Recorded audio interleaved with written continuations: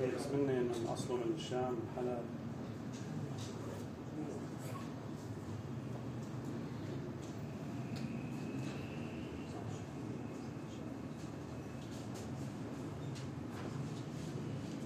يعني أخذتوا مراحل مخاض لا اخذتوا مخطط فريدمان تذكروا هيك شيء؟ والله تذكروا هيك شيء؟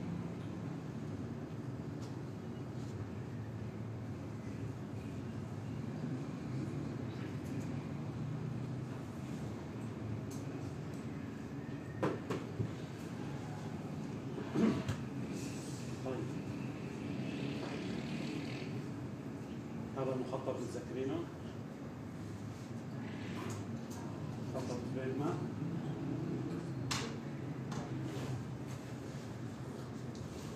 شغلوا هذا خليه يشغلوا هذا خليه يشغلوا الدنيا نار.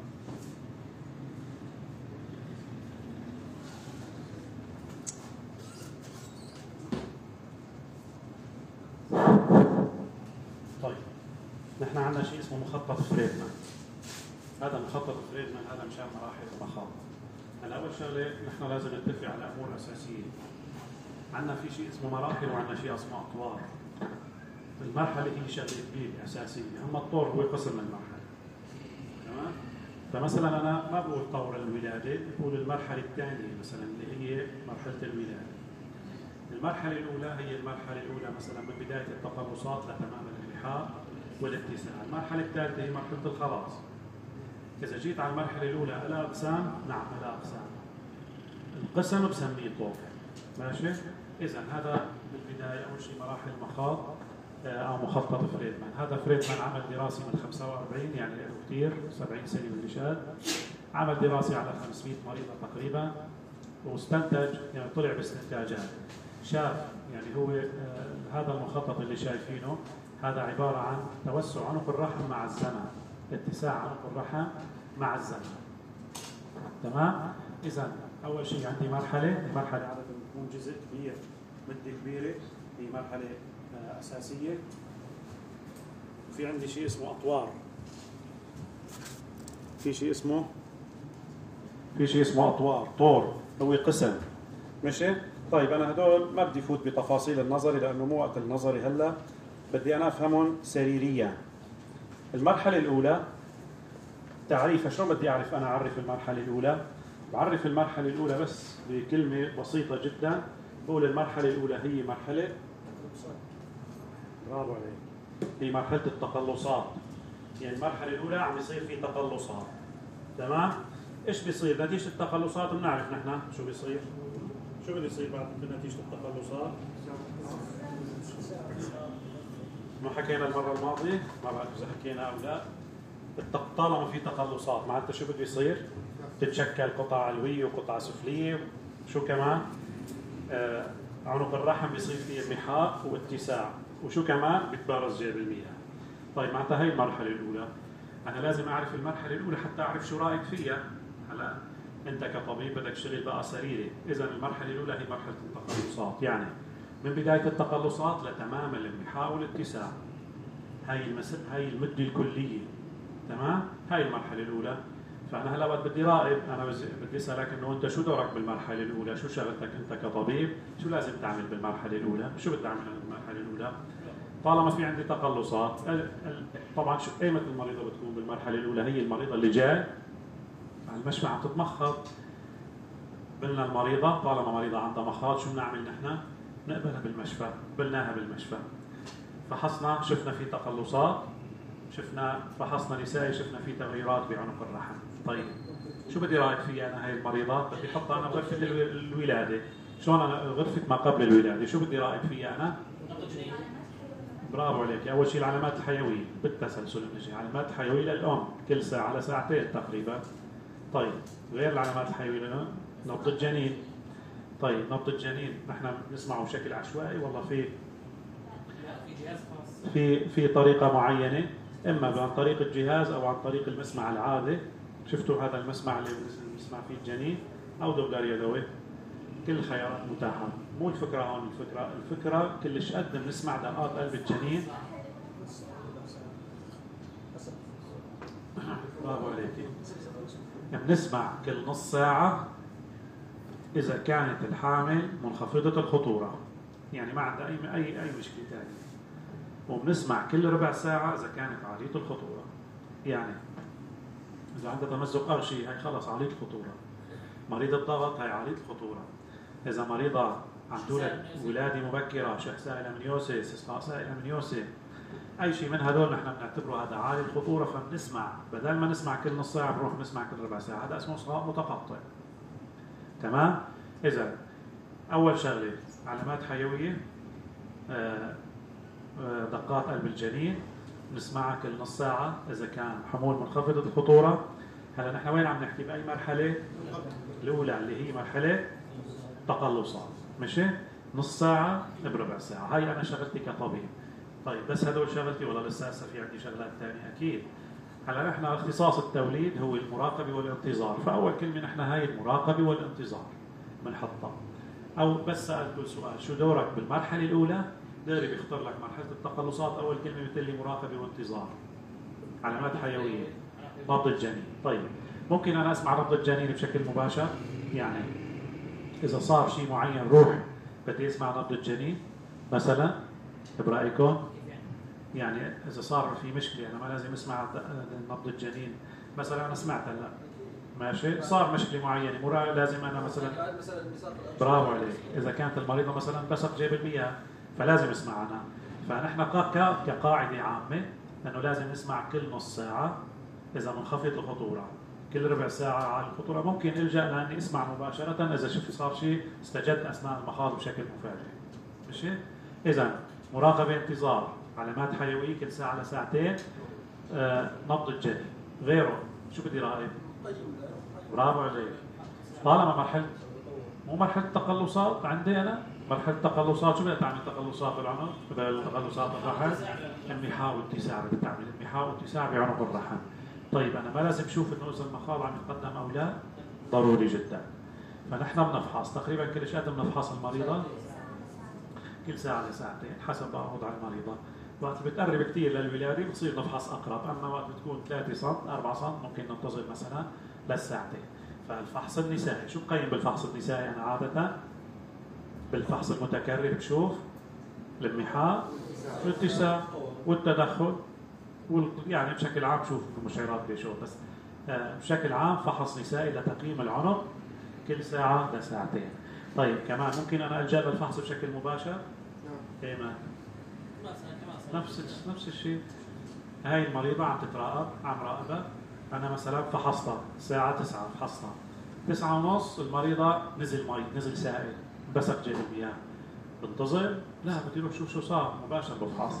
بدي افحص أشوف إذا آه، آه، يعني نزل سرر أو إذا صار في تطور سريع للمخاض آه، تمام؟ طيب إيمت كمان أنا بفحص بشكل مباشر. ما بنتظر مدة الساعة والساعتين.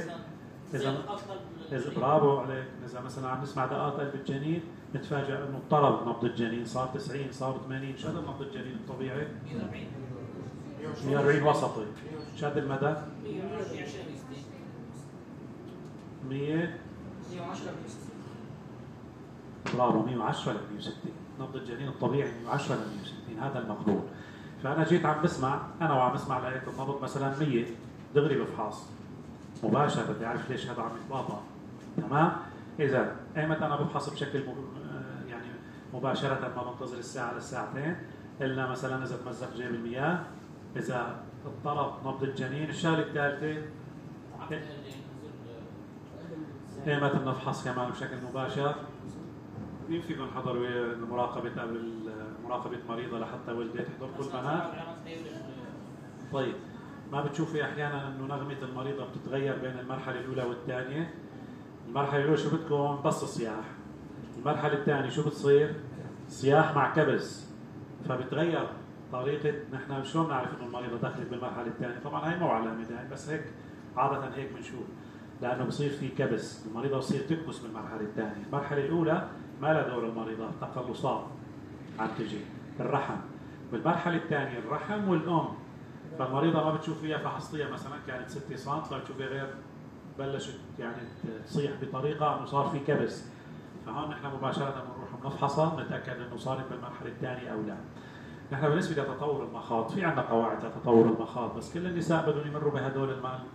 أحيانا مريضة بتكون فحصها 4 سم خلال ساعة بتصير 10 سم أحيانا آه، بتكون 4 سم بدها مثل ما قلنا بدها كل سنتي آه، حكينا شيء عن المخاض أنا والله ما بعرف. أنا ما بعيد المحاضرة ما بعرف شو بعطي يعني. ما حكينا عنها طيب ما في مشكلة. ما حكينا عن زنك ما هيك؟ طيب. إذا هاي المرحلة الأولى. يعني بدنا ندمج شوي نظري مع شوي سريري لحتى. إذا المرحلة الأولى هاي هي مرحلة التقلصات. إذا هدول الشغلات بنقيمها فحص نساء مراقبة انتظار علامات حيوية نبض الجنين. فحص منتظم ولكن نحن ممكن نفحص بشكل مباشرة ما ننتظر إذا شفنا أي شيء تغير أثناء سير المخاض. في شغلات ثانية ممكن نحن نعملها بالمرحلة الأولى ذكروني إذا نسيت شيء. شو في كمان شغلة مهمة لازم نعملها. نفتح الوريد. نعم نفتح الوريد في البداية. الأفضل أنه نفتح الوريد من أول ما تدخل المريضة. نفتح لها وريد آه، نعمل لها تحاليل. قبل ما نبلش نسرب السوائل. عادة الماخضات بيتجففوا فبنحط لهم سيروم سكري إذا ما بدنا نحرضهم بنحط لهم سيروم سكري في شغلة مهمة كمان لازم نراقبها شو هي؟ شو اسمها المرحلة الأولى؟ مرحلة تقلصات معناتها شو بدي راقب؟ تقلصات معناتها لازم راقب التقلصات شلون إحنا بنراقب التقلصات؟ بتعرفوا طريقة مراقبة التقلصات شلون؟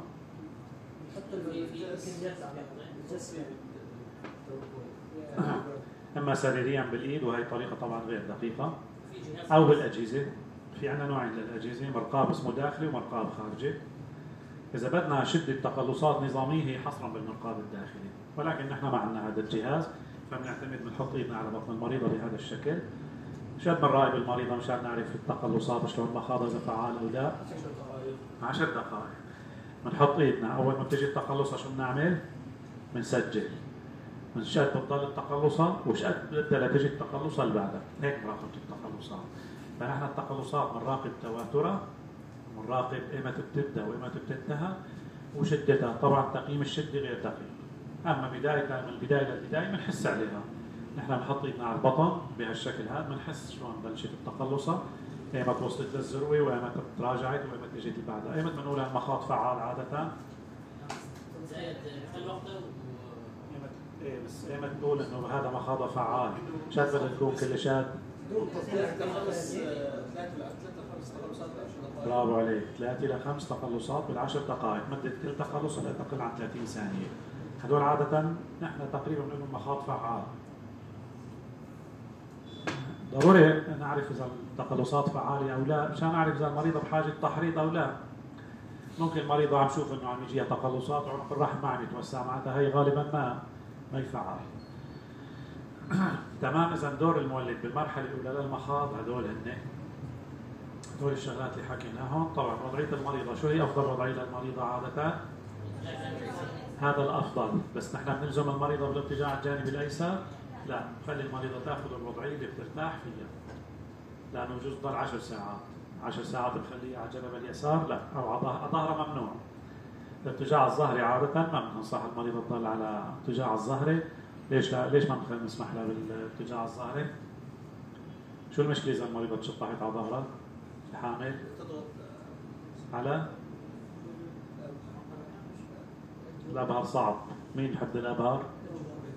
الأجواء تضغط على الوريد بيضغط على الوريد الاجوف فشو بصير عندها؟ هبوط ضغط بخل مين اللي بيقل؟ العود. العود الوريدي فبصير عندها تنازل. هبوط الضغط بعد الاستلقاء. الحامل نحن ما بنفضل نحطها على ظهرها ابدا. حتى وقت اللي بتضطروا تنعشوا حامل ما تحطوها إذا كان مثلا حامل آه، صاير عندها صدمة توقف خلف ما بتنعشوها واللي بيكون على وضعيتها الاتجاه الظهري بتميلوها أو تيجي حدا بيزح بزح الرحم بإيده. بنزح الرحم بإيدنا وفي آه، نحاول بعدين نعمل الانعاش القلبي الرئوي بنحط إيدينا على على الصدر وبنبدا بالعد وهي الأمور بتعرفوها.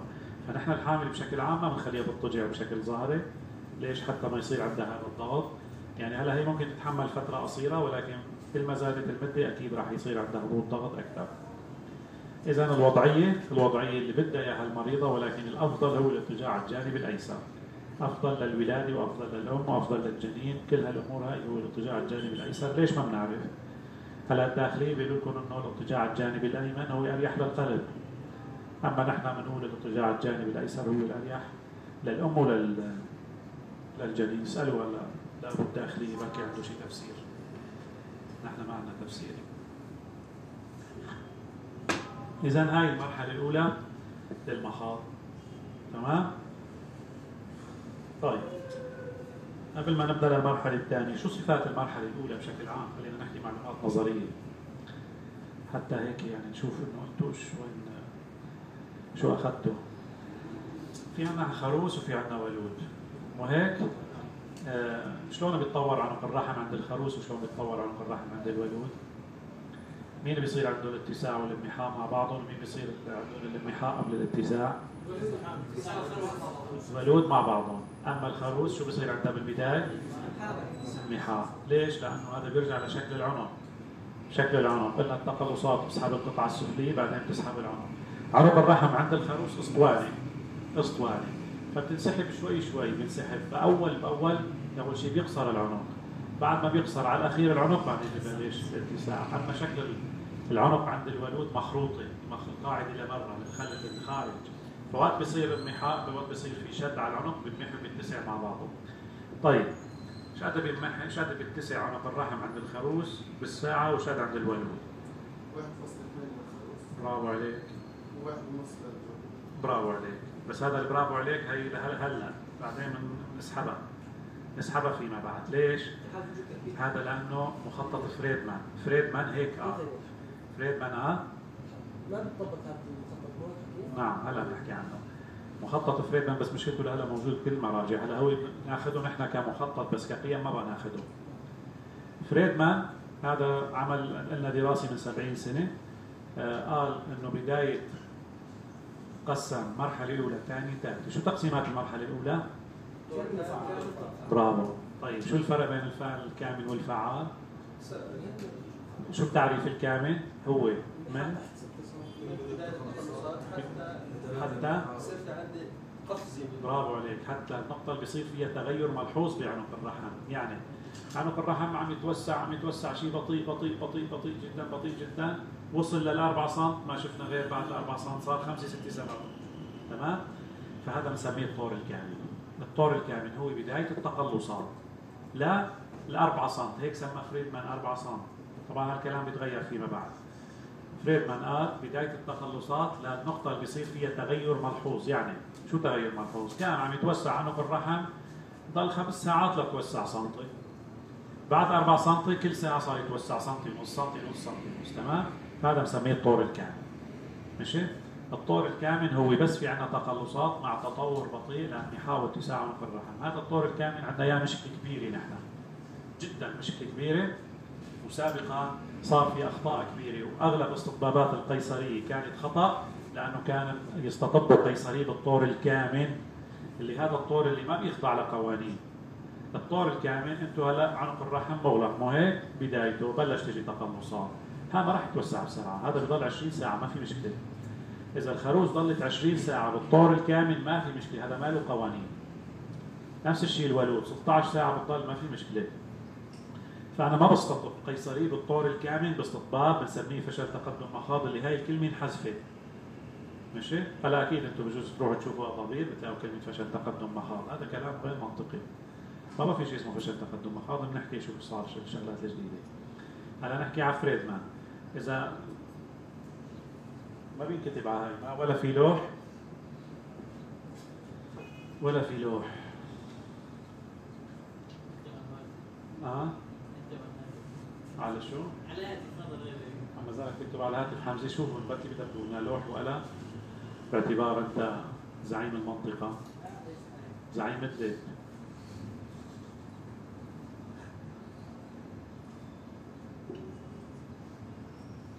نحكي شوي لأنه الحكي شايفين الصورة أنتم هلا ولا راحت؟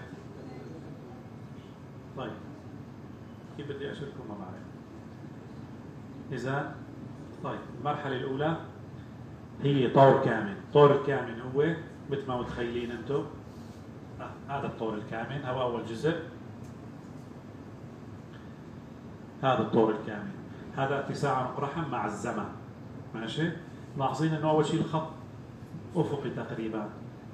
أفقي يعني في تزايد بعدين صار في زيادة مفاجئة. فهون انتقلنا للطور الفعال. الطور الكامل فريدمان قال تحت الأربع سم هذا اسمه طور كامل. الطور الكامل إذا اجتكم مريضة وضلت ست ساعات وسبع ساعات وعشرين ساعة بالطور الكامل ما بنستطب لها قيصرية ليش؟ لأنه لسه عنق الرحم غير جاهز. لسه لساته قاسي ما خضع. لسه ما وصل آه، يعني ما اكتملت التغيرات الكيميائية الحيوية على مستوى عنق الرحم حتى يتوسع. طبعا هو الكولاجيناز بيحل الكولاجين فبيتحل مع العنق وبصير لين وبصير يتوسع. هاي الآلية تبعته. تمام؟ اذا هذا الطور الكامل بصير أنا أستطب قيصرية بالطور الكامل باستطباب شذوذ مخاض؟ لا. أما مثلا إذا مريضة مشيمة مركزية وبالطور الكامل أكيد هي ما رح خليها بالأصل تتعرض لمخاض أو تألم الجنين إيه بس هذا صار استطباب ثاني بس ما بيصير أقول إنه مريضة بالطور الكامل صار عندها شذوذ مخاض. ما بيصير. ماشي؟ المريضه اللي اجت بالطور الكامل أنا ممكن أعطيها مسكن. المسكن ممكن يروح المخاض أو ممكن يشتد ماشي؟ بس ما بروح بعامل المريضه إذا ضلت خمس ساعات بالمشفى وست ساعات. يلا على القيصرية لا. كل شيء وأنا بالطور الكامل معك مدي مفتوحة طالما الجنين ضمن الطبيعي آه، مجاله ضمن الطبيعي. مبدو ضمن الطبيعي وما في عندي مشاكل ثانية والله سادسة؟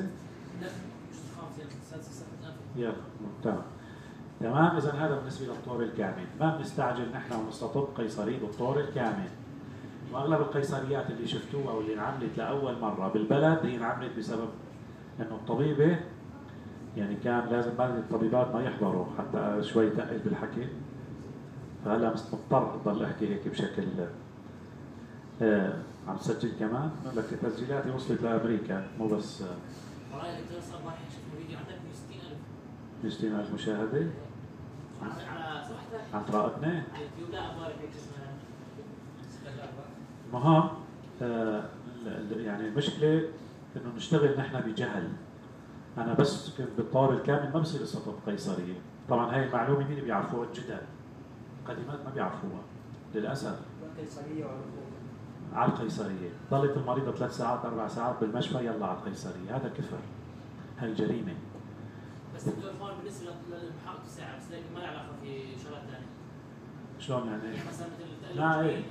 بس صار تألم جنين هاي أنت وقت رحت حكيناها بس صار تألم جنين نحن بنعمل قيصرية. بس مو باستطلاع تقدم فشل تقدم مخاض إذا الطور الكامل بتركزوا لي عليه إنه هذا الطور نحن ما بنستطب في قيصرية. باستطلاع فشل تقدم مخاض القاعة الخامسة يلا.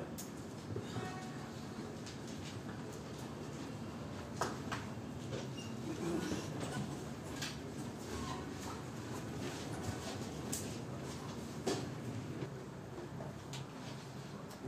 القاعة وين؟ هذا هذا جهاز ما عم يسوي شيء حتى يعرف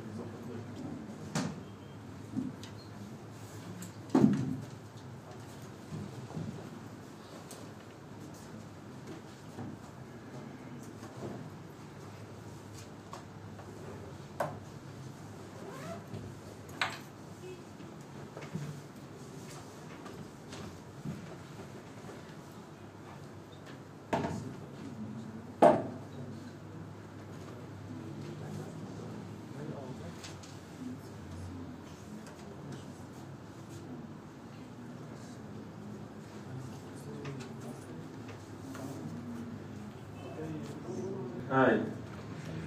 تسعة عمق الرحم 2 4 6 8 10 هذا مع الزمن. ما أنتم شايفين. لاحظوا إنه هون في عندي كلمة ستيج ماشي. مرحلة أولى. مرحلة ثانية مرحلة ثالثة. هاي المرحلة الأولى من بداية التخلصات لتمام الانمحاء لاحظوا في عندي طورين. كامل وفعال. هذا هو المخطط. المرحلة الثانية هي مرحلة ولادة من تمام الانمحاء والاتساع تمام؟ اذا هذا اللي كنا عم نحكي عنه اللي اسمه مخطط آه، مخطط فريدمان وين كنا عم نحكي؟ عم نحكي عن الطور الكامل. الطور الكامل قلنا ما له قوانين تضبطه. يعني عنق الرحم بجوز يضل ساعات طويلة آه، لحتى يتوسع. ما في مشكلة. أما نحن إذا جينا على الطور الفعال لا صار في عندنا مشكلة. الطور الفعال فريد ما شو قال؟ قال لازم عنق الرحم يتوسع سنتي ونص عند الولود بالساعة وعند الخروس لازم يتوسع على الأقل واحد 1.2 طيب هالكلام أكيد رح يتغير. طيب عادة المخاض بيبدأ بشكل مفاجئ والله في شغلات بتبدأ قبل المخاض. أكيد في شغلات إيه، يعني قبل ما يبلش المخاض الحقيقي شو من الشغلات اللي بتبدأ؟ في شيء اسمه التخفيف. آه بس وخاصة الخروس. آه بنهاية الحمل شو بيصير بالجنين؟ ينزل شوي على الحوض ما هيك؟ بس نزل شو بيصير بالزلة التنفسية؟ شو بيصير في بالمقابل؟ بصير في تعقد بلاء. طيب آه المريضه بالأسابيع الأخيرة تجي بايش من إيش تشكيلكم؟ بتقول لكم يا دكتور والله عم يجيها طلب بالليل وعم يروح بالنهار بيجيها كل ساعتين كل كذا هذا الكلام كله شو بنسميه؟ مخاض جاهزة. علامة المخاض شو هي علامة المخاض؟ زور علامة المخاض هي مادة مخاطية مدماء عنق الرحم شو في جواته؟ مخاط بس البداية تتوسع. بس بلش يتوسع. عنق الرحم شو بصير بهاي السلالة؟ هاي. آه هاي. حكينا عن هدول المرة الماضية عن القطع السفلية وكذا ولا لا؟ حكينا بس هلا بنشوفهم. طيب. هلا قلنا هاي تقلصات عنق الرحم شو التقلصات عنق الرحم شو صفات آه، تقلصات عنق الرحم النظامية. شو صفات المخاض الفعال شو هو؟ تقلصات بتكون إرادية ولا لا إرادية؟ مؤلمة ولا غير مؤلمة؟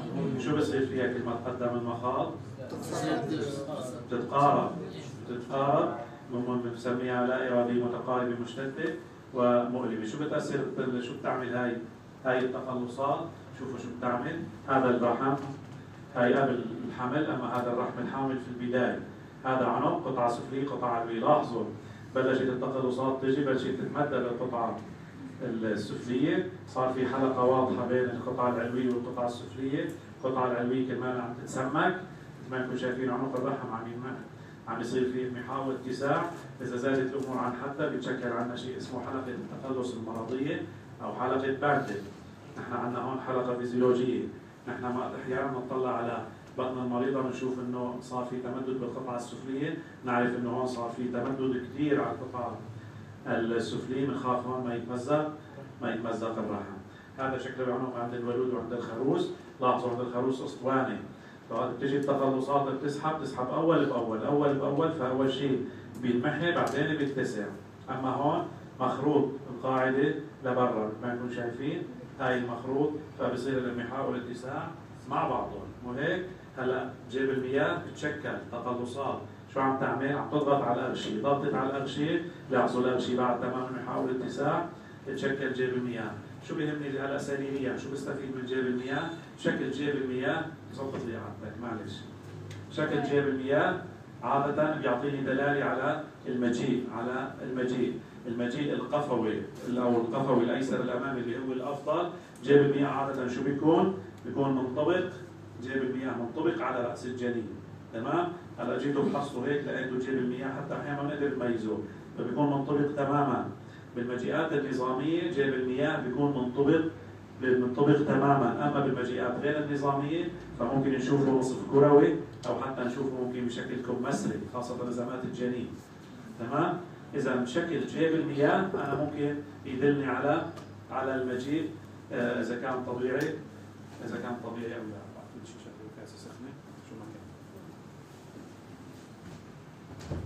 تمام؟ اذا هاي بالنسبة لجيب المياه في معلومة بالنسبة لجيب المياه. ايمتى لازم يتخلص برايكم جيب المياه؟ ينبسط جيب المياه.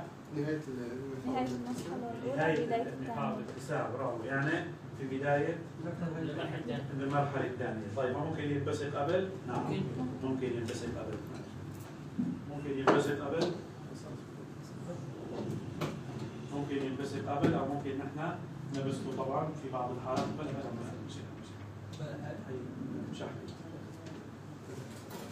إيه، فأنا آه، ممكن أنا ابصقه اذا ما انبسط في تمام الانمحاء والاتساع، طيب طريقة بسق جيب المياه طريقة بسق جيب المياه، شلون نحن بنسق جيب المياه؟ بنسقه بشكل عشوائي برايكم؟ تدريج بدنا ندير بالنا.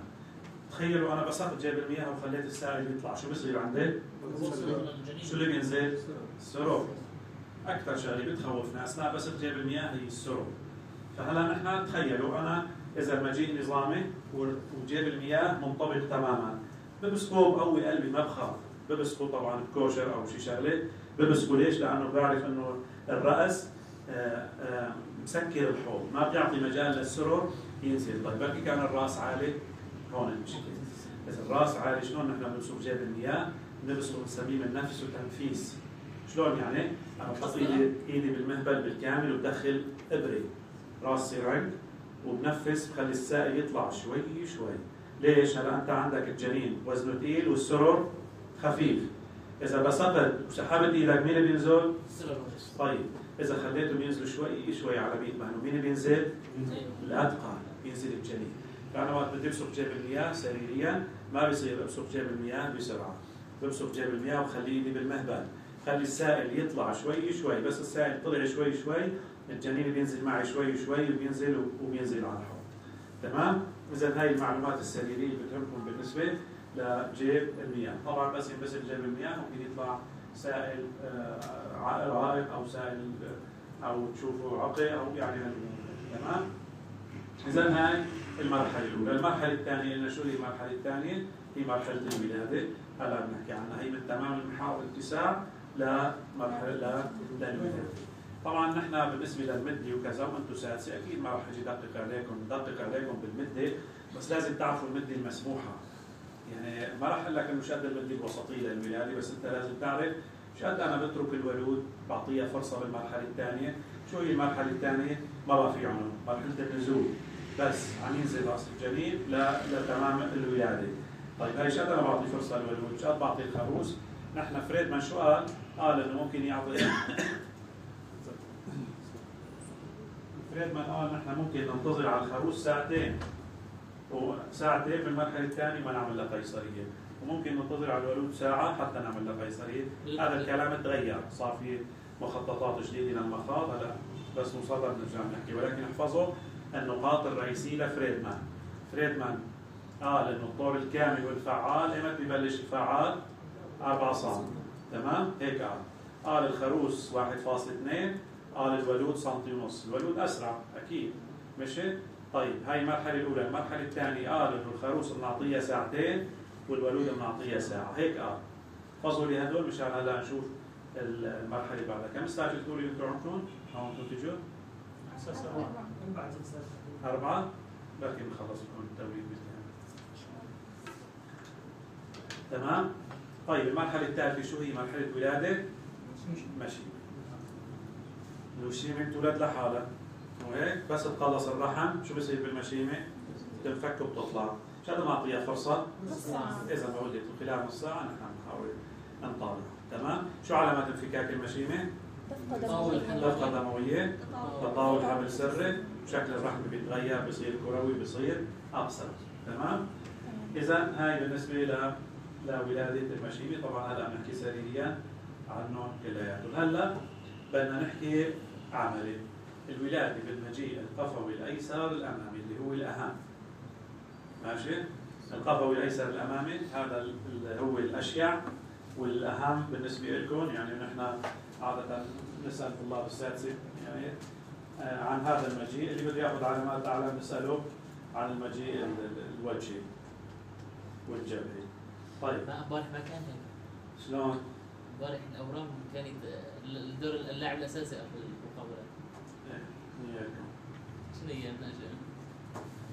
طيب. اذا هلا بدنا نحكي سريريات أول ما تجيكم المريضة على المشفى مو هيك؟ نحن بنستقبلها. آه ناخذ منها قصة سريريه حكينا عن القصة السريريه ناخذ منها القصة. آه نبدأ بالفحص. قلنا الفحص شلون نبدأ بالفحص؟ نبدا بالفحص العام أول شيء علامات حيوية. بعدين تأمل البطن. نقيس ارتفاع قعر الرحم وحكينا الكلام. نبدأ بمنورات ليوفولد الأربعة. في القطب العلوي القطب السفلي اتجاه ظهر الجنين. القطب السفلي بالتسلسل قطب علوي اتجاه ظهر الجنين. ماذا يوجد في القطب السفلي بدنا نكرر آخر شيء بدنا آه نشوف تدخل. مو هيك؟ نشوف التدخل إذا رأس الجنين متدخل أو لا. هذا فحص اسمه فحص البطن. ماشي؟ بعد فحص البطن بنجي بعد شيء اسمه الفحص النسائي حكينا عنه. المرة الماضية بأول شيء تامل الفرج بعدين الفحص النسائي. قلنا الفحص النسائي في عندنا كم نقطة ممكن نحصلها تقريبا. كثير. خاصة إذا خروج. قلنا أول شيء بنبدا بقوس العامل بعدين الشوكين بعدين جدران. بعدين بدي أشوف القطر الخرشومي تحت العانه أو بدي أشوف إذا متبارز العجز. بعدين وصلنا للعنق. العنق قلنا له أربع صفات. بعد العنق بيجي جيب المياه. بعد جيب المياه بيجي المجيء قلنا في مجيء رئيسي وفي فرعي. مو بس هيك قلنا المجيء بعد الفرعي له وضعيات يسرى يمنى أمامي خلفي. وآخر شغلة بنشوف التدخل التدخل بنشوفه من فوق بس بنحدد درجته من تحت. يعني نقول تدخل صفر أو زائد واحد من تحت. أما من فوق بعرف متدخل أو لا فحص البطن تمام؟ اذا هاي بالنسبة ل للأمور. فحصنا نسائي. بعد ما فحصنا نسائي وعرفنا كل هاي المعلومات وسجلناها شو ضل عندنا اصغاء الجنين اصغاء النبض تصغير نبض الجنين. هاي شغلة لا تنسوها. لا تنسوها. مثل ما مهم تاخذوا علامات حيوية عند الأم كمان في شغلة مهمة إنكم تعرفوا نبض الجنين خاصة اللي بيقعد بالإسعاف. ونحن دائما نبض الجنين هو مسؤولية اللي بيقعد اللي بيستقبل المريضة. لأنه المريضة اللي بتجي وميت الولد هي نحن ما بنتحاسب عليها قانونيا. أما المريضه اللي بيجي اصغاء إيجابي بتموت عندنا بالمشفى هي بنتحاسب عليها في في حسابات عليها. تمام؟ فأول شخص يعني الإضبارة ما بيصير تطلع من قسم الإسعاف لقسم المخاض إلا ما يكون النبض متسجل. لازم النبض يكون مسجلينه على على الإضبارة هلا نحن شو قلنا القاعدة العامة تبع دقات قلب الجنين؟ وين بنسمع دقات قلب الجنين؟ عادة؟ حسب المجيء حسب المجيء. في القاعدة العامة شو بتقول؟ أسفل السره باتجاه ظهر الجنين بالمجيئات الرأسية. وبالمقعدية. فوق على السرة واتجاه ظهر الجنين يعني دائما نحن الإصغاء بيكون باتجاه الظهر ولكن حسب المجيء. إذا رأسه لتحت إذا كان مقعدة هاي القاعدة العامة بال آه، بال بالمجيئات. طيب قلنا شلون نحن بنحدد المجيء؟ كمان هاي شغلة. آه، وإذا كان مجيء رأسي. حكينا إنه أول شيء نحن إذا جسينا كتله صلبه بنعرف إنه رأس ما بيكفي. وين بدنا نمشي؟ على الدرس السهمي بدي أشوف علاقة اللامي مع البريكماوي اللامي شلون شكله؟ وهذا بدي أشوف أنا اللامي وين موجود أيمن أو ايسر بدي ارجع أشوف اللامي وين أمامي. أو خلفي. إذا هذا الكلام هو بالفحص النسائي. طيب هلا بدنا نحكي عن مراحل الولادة. نحكي عن مراحل الولادة. مشان نعرف شو بدنا ندبر كيف بدنا ندبر المريضه بالمرحلة الثانية. هلا يعني هذا حتى يعني أنا ما بعتبره كلام نظري لا هذا كلام عملي. أنت إذا ما فهمت الآلية ما رح تعرف شو بدك تتصرف مو هيك؟ نفهم الآلية. طبعا الآلية بسيطة جدا. هلا نحن بنمثلها إن شاء الله. وبس شفنا الآلية. أكيد شو بدي أكيد أنا بستنتج التدبير استنتاج. أنا مثل المرحلة الأولى هي مرحلة التقلصات فأنا لازم راقب التقلصات. ولازم راقب عنق الرحم. ولازم راقب دقات قلب الجنين وهالأمور هاي طيب شو بصير بالمرحلة الثانية؟ هلا العنق بتمام المحاء والاتساع طيب أول شغلة الجنين شو بده يعمل؟ هذا شو اسمه هذا الجزء شو سميناها؟ مضيق مضيق مضيق مدخل أو مضيق علمي انلي هيك بنسميه مضيق ماشي؟ طيب أول شيء الجنين شو بده يصير فيه؟ بده ينزل مو هيك؟ معناتها شو بنسميها هاي الشغلة؟ تدخل دخل معناتها تدخل اذا أول مرحلة هي التدخل شو تعريف التدخل؟ آه، مو مجرد إنه يعني هيك نزل شيء بسيط من التدخل لا بنقول إنه صار في تدخل إذا تجاوز القطر مستوى القطر بين الجداريين المضيق العلوي. الجنين له استدارة كبرى ماشي؟ له استدارة كبرى. هاي الاستدارة الكبرى على مستوى القطر بين الجداريين. بس تجاوزت المضيق العلوي صار اسمه تدخل. إذا تعريف التدخل هو تجاوز شو كان تجاوز القطر بين الجداريين المضيق العلوي أو مستوى القطر بين الجداريين ال BPD شغلة بسيطة مو هيك؟ هلا الأول شغلة المجيء القمي الايسر الامامي هيك بيكون وضع الجنين شايفين؟ هيك الظهر للأمام وللايسر هيك بيكون هذا هذا الجنين عم بحكي عنه أنا هاي الأم واقفة مقابلكم الأم واقفة مقابلكم تماما هيك هيك بتكون هاي الوضعية مشي؟ إذا تدخل أول شيء تدخل تدخل شلون تدخل الجنين؟ شلون رأس الجنين؟ مايل والله أمامي خلفي والله معترض؟ مائل مائل ليش؟ لأنه اليافوق اللامي بده يكون بالأيسر والامام يعني هون. قلنا هيك أيسر أمام هيك أيسر معترض هيك أيسر خلفي. وهيك حكينا المرة الماضية؟ طيب إذا أيسر وأمام. أول شغلة شو بده يصير فيه؟ بده يتدخل. طيب في شغلة بتصير معنا نحن بالتدخل أحيانا. هي ما بنعتبرها مرحلة من مراحل الولادة ولكن بنعتبرها شغلة مزعجة. نعتبرها مزعجة يعني شلون الطريقة اللي بيتدخل فيها الجنين. هلا برأيكم الجنين شلون لازم يتدخل؟ هيك والله هيك والله هيك. لا هيك. هيك على النص. لازم يتدخل الجنين هيك. هيك هيك هيك الصح. يعني لازم ينطبق الدرس السهمة على ال- القطر المائي لل- للحوض. طيب هذا الجنين ما بده ينزل هيك بده ينزل هيك. لك معه شيء؟ لا. وهيك كمان ما لك معه شيء. طبعا هذا شيء مزعج. هذا شو اسمه؟ توارد ماشي؟ بنسميه توارد ورد راسه ورد. فبدل ما ينزل الجنين هيك نزل هيك. طبعا شو بيعمل؟ بيعمل عصرات ولاده باخر الولادة. ممكن يتصحح عفويا ولكن شو بنسميه توارد هاي ما بعتبرها أنا مرحلة من مراحل الولادة لكن بعتبرها يعني آه، طريقة تدخل بدل ما ينزل نظامي هيك بينزل هيك أو هيك هاي شيء مهمه سريريا ليش؟ لأنه أحيانا جنين صغير وما عم يولد ليش- ما عم يولد هذا؟ ليش ما عم؟ ليش؟ لأنه الاقطار ما هي نظامية حتى لو كان المجيء صغير رأس الجنين صغير ولكن جاي هيك هذا ما اجى بالقطر النظامي الأقطار النظامية اللي بتسمح بالولادة. شلون نعرف طبيعي بالفحص إذا شفت الدرز ال- إذا شفت الدرز السهمي إذا كان في عندك أنت توارب أمامي وتوارب خلفي. هذا توارب أمامي وهذا خلفي. أنت المفروض وقت اللي نحن نجس وين بدنا نلاقي الدرز السهمي؟ بالمنتصف. طيب إذا شفت الدرز السهمي رايح على العجز وعندك هذا الحدبه الجداريه أكبر الأمامية هذا بسميه توارب أمامي.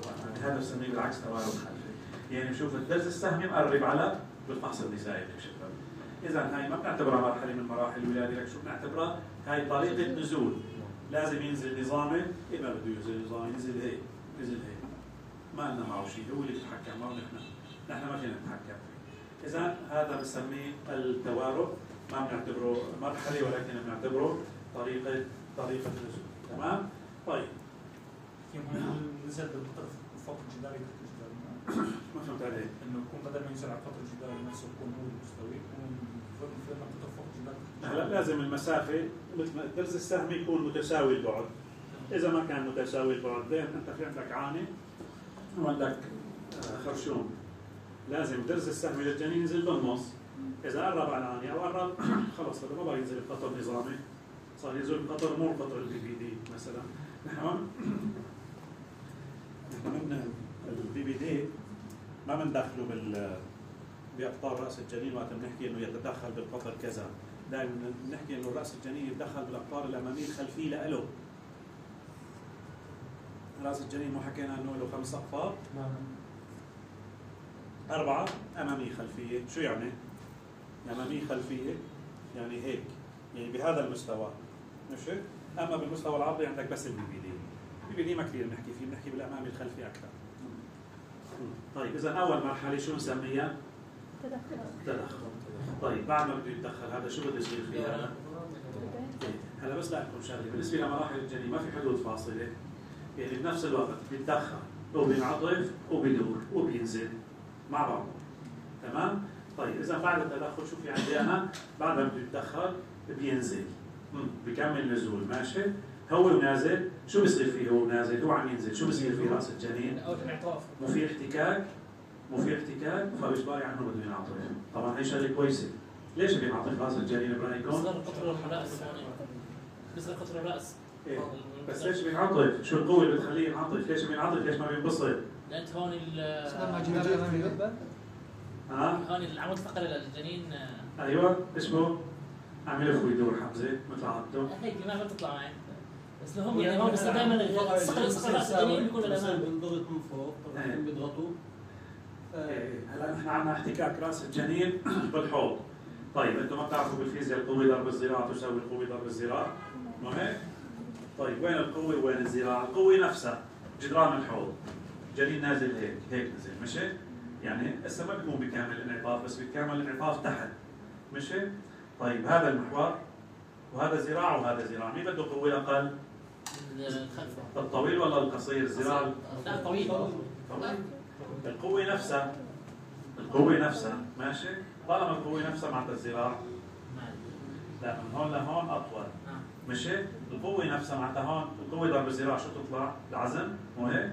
إيه فالعزم هون بصير أكبر, أكبر بينعطف المهم هي شغلة فيزياء هلا ما وقتها نحن هون نحن نعرف إنه الجنين بيتدخل بينزل شو بصير فيه؟ بينعطف طيب ليش أحيانا بصير بيجي مجيء وجهين على أساس انه بالاصل بالاصل بيدخل وجهي هو بالاصل بيدخل من فوق وجهي هي نحن هون عم نحكي عن مجيء القفوي القفوي أحيانا ما بيجي بكامل الانعطاف لحتى يحتك بجدران الحوض كل ما احتك بجدران الحوض بينزل هيك بعدين بينزل هيك ماشي أصلا كيف يتحول لوجه؟ بالاصل بيكون وجهي بالاصل قبل ما يدخل قبل ما يتدخل آه قبل ما يتدخل من مضيق اذا اذا هذا هاي المراحل نزول وانعطاف طيب هو وعم ينزل وعم ينعطف شو عم بيصير فيه؟ ليش عم يدور؟ ليش قلنا ليش يلحق أيوه ده شو القاعدة عندنا نحن بالتوليد؟ الجنين بيهرب من الاقطار وبيلحق الاقطار الطويلة، طيب مين القطر الطويل فوق؟ معترض أو مائل نفس الشيء اثنينهم 13 هون نزل بالمائل عم نحكي على ايسر امامي ها شلون نزل رأس الجنين؟ شلون نزل؟ نزل هيك نزل بالمائل نزل بقطر الحوض المائل مشي؟ طيب هذا ما بيصير هذا بده يطلع هيك. ليش؟ لأنه المخرج المخرج القطر الأمامي الخلفي اطول من معترض فهذا سبب دوران الجنين. فنحن قاعدين عم نتفرج ما بنشوف غير الجنين بلش يفتل نحن بس شفنا عم يفتل معناتها الأمور بخير هي عندنا قاعدة إنه قاعدين مقابل الولادة بس شفنا بلش الراس دوران الداخلي على الأقل بنعرف إنه الأمور جيدة آه، يعني رأس الجنين. نزل بالقطر المائل وبده يروح للقطر الأمامي الخلفي. شو القاعدة العامة للدورانات؟ النقطة الاستكشافية بتوصل للعالم برافو عليك. هي حقها ذهب هي الكلمة. القاعدة العامة إنه النقطة الاستكشافية بدها توصل تحت العامة يعني طيب المجيات القفوي مين النقطة الاستكشافية؟ لا اللامة. طيب هاي اللامة. وجه الجنين الأسفل طيب. آه، هلا بالولادة بس في في سر رح نحكي لكم إياه. بالولادة الرأسية إنه الراس بيولد لحاله وبعدين الكتاف تولد لحالها ماشي؟ بتعتبر الجنين جزئي بالولادة المقعدية بيعتبروا ثلاث أجزاء. هاي كلها مشان تبسيط نفهم الأمور. يعني هلا الجنين نزل هيك ماشي؟ هاي نزل هيك الجنين. بده يدور. اللي يفوق اللامي وين كان؟ هون. وين بده يصير؟ تحت العاني هيك. هاي العاني ماشي؟ فبده يدور هيك. طبعا الكتفين ما لهم علاقة لسه ما عم يصير لهم شيء. لسه عم ينزلوا ما لهم علاقة هسه بالشيء اللي عم بيصير بالرأس. فراس الجنين إيش قد؟ وصار بس. ها؟ كان هون وصار هون. دار؟ طيب وقت بده يكون رأس الجنين هيك شو بده يدور؟ 90 هيك. هلا لو هيك. بيدور 90 إيه طيب بركي هيك كان؟ 135 أول 45 ثاني 90 فالكلمة اللي قالها زميلكم انه النقطة الاستكشافية. أنا بالح... وين اللامي هون؟ خلف؟ خلف أي خلفه خلفه ايسر ماشي خلفه ايسر إيه بدها تصير أول شيء معترض بدها 45 بدها تصير امامي 90 صار 135 فانتم شلون بتعرفوا إيش قد بده يدور الجنين؟ بس بتشوفوا وين النقطة الاستكشافية وبتعرفوا إنه هاي النقطة الاستكشافية لازم لوين تروح؟ لتحت العالي هاي بس طيب بالمجال ممكن يصير دوران بالعكس إيه برافو عليك. ممكن يصير دوران ويع- ويعمل شذوذ يعني مثلا 45 إيه بي- بيزيد المشكلة علينا. هلأ هذا إذا ما عجبه يدور لل- للأمام راح دار للخلف اجى بالوضع القفوي العجزي هذا وضع سيء. هذا سيء. بس أما كشيء طبيعي نحن عم نحكي على الشيء الطبيعي هذا خلل. والغالب يعني. إيه الغالب إنه النقطة الاستكشافية بتروح بتلف وبتدور لتوصل تحت العانة. طيب إذا مجيء زقنة خلفي، هذا شو اسمه هذا؟ ها؟ شو اسمه هذا المجيء؟ وجهه زقنة خلفي، ها؟ مش قد بده يدور هذا؟ والله ما بيدور ما بيولد هيك، لازم. إيش رايكم؟ بيولد هيك الزقنة الخلفي؟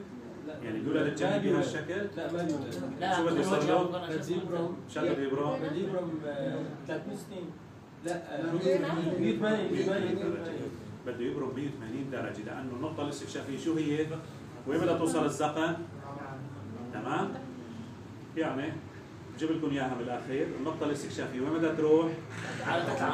بس عرفت هاي الكلمة بعرف كل الدورانات أنا ما بقى بدي حدا يجي، ما بدي أقعد ساعة أفكر إنه هذا وين بده يروح. مشي؟ طيب. إذا هاي بالنسبة للنقطة الاستكشافية، النقطة الاستكشافية احفظوها بالمجيئات الرأسية لازم تدور النقطة الاستكشافية وتوصل لتحت العانة، فأنا بعرف عن ظهر غيب إنه إيش قد هذا الجنين لازم يدور بكل بساطة. تمام؟ طيب هلا بنرجع للقفوي الأيسر الأمامي اللي هو الابسط. قلنا بده ينزل الرأس بينزل بهذا الشكل، الجنين عم ينزل وعم ينعطف وعم بلش يدور بهذا الشكل. صار مشي؟ كتفين شبون؟ ما في شيء لسه للكتفين لساتهم على وضعهم جوا. ماشي؟ هلا وصلت بس وصلت النقطة الاستكشافية لا تحت العانة بنسميها مفصل تحت العانة وبتبدأ ولادة الرأس. بده يبلش يولد. وبده يعمل الحركة المعاكسة للحركة اللي عملها جوا. يعني هلا جوا. انعطف. هلا شو بده يصير فيه؟ بده ينبسط. هلا أنا بدي أحكي صرت بهي المرحلة. هلا أنتم لازم تشوفوا صرت بهي المرحلة. صارت النقطة الاستكشافية وينها؟ تحت العانة شايفينها؟ تحت العانه هلا بده يولد الراس. بده يبلش. يولد. شلون بده يولد الراس؟ بده يبلش يعمل هيك. أما بالمجيء الزقني بالعكس. بالمجيء الزقني مو انبسط وصار كان بأشد الانبساط؟ ببلش ينعطف. الزقن بتصير هون.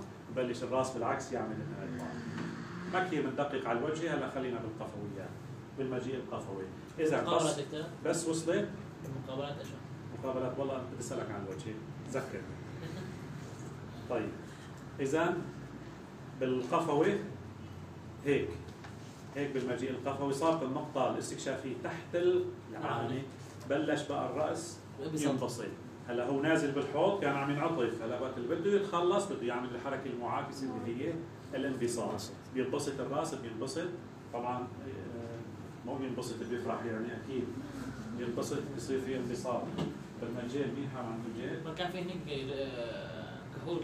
وين؟ جيل الكحول فوق. بس مر لي على الشباب لي شي شغلة. أي معقد أي جيل اللي بس بدي جيل أو هيك شيء حتى تشوفوا الحركات إذا وصلنا لمرحله الانبساط اللي هي هيك ينبسط الجنين بعد ما بينبسط الجنين بعد ما بينبسط رأس الجنين. تولد الجبهة الأنف الفك بالأخير السقم. طيب بعد ما بيولد الراس. كيف بيولد الراس؟ ال- الوجه الوجه لل- لل- للخلف. خلف أول ما بيطلع الراس بيطلع راس براس الجنين بيكون وين عم يطلع؟ باتجاه شرج الوعي اتجاه شرج امه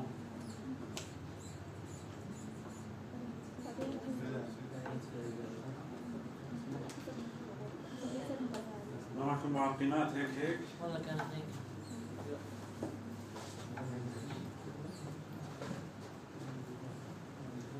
طيب. راح راح معلش راح إيه؟ دوري.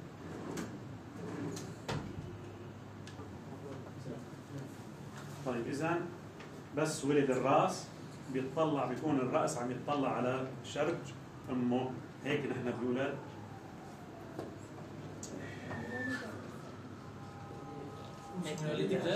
أصعب لسه بس لا أكيد ما بدك طيب هاي ولادة الرأس.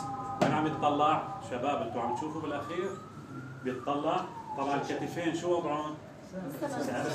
لساتهم على حالهم. مشي؟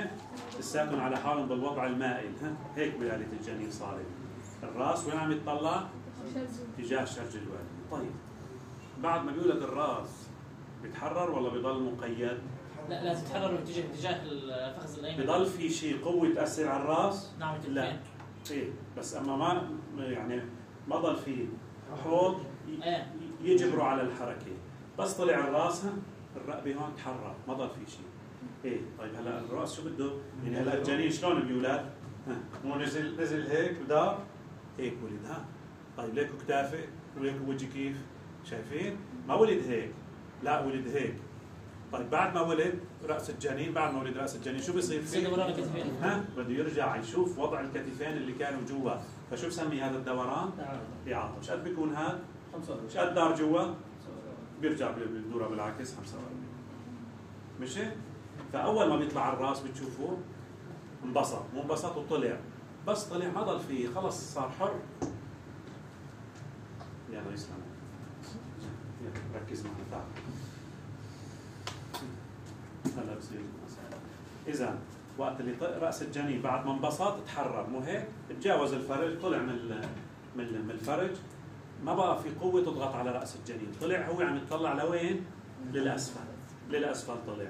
طيب هلأ ما ضل في شيء يأثر عليه؟ مين هلأ بده يرجع لشو؟ بده يشوف لوضع الكتاف. مش هيك؟ طيب هلأ الكتفين. كتفين كيف هن هلأ موجودين فوق؟ لساتهم بالوضع؟ المائل. موجودين بالوضع المائل. هيك موجودين. ماشي؟ هيك. هذا الفخذ الايسر الامامي هيك موجودين. فالرأس شو بده يصير فيه؟ إجباري بده يلحق الكتفين. فبشو سمي هاي الدوران؟ دوران الاعاضه طيب هلأ الكتفين. هاي مستوى الكتفين. مين أطول المعترض ولا الأمامي الخلفي للكتفين؟ المعترض. هاي عريض الم- المنكبين مو هيك؟ فالقطر المعترض هذا اللي بين الأخرمين. شلون بده يطلع هذا؟ بده يطلع من المخرج. مين القطر الأما- الطويل بالمخرج؟ معناته شو بيصير بالكتفين بده يدوروا بعكس دوران الراس بالاول. هلا الراس دار هيك. ماشي؟ وخلصنا منه هلا اجى دور الكتفين. آه، اجى دور الكتفين. فالكتفين ما بدها تدور بنفس جهة الم... بتدور لحتى تجي بالوضع الامامي الخلفي. يعني القطر الطويل. بده يجي بالامامي الخلفي. فالجنين شلون بيعطيكم حاله؟ هيك. ليش عم يدور؟ لك هلا هسه الكتفين بده يدوروا دوران الكتفين.